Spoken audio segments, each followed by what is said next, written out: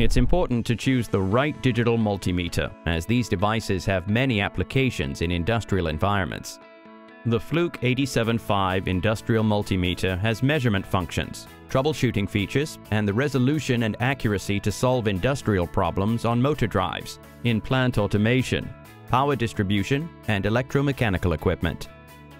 The 289 has the same functionality as the 87 V, with a higher level of accuracy and the ability to log.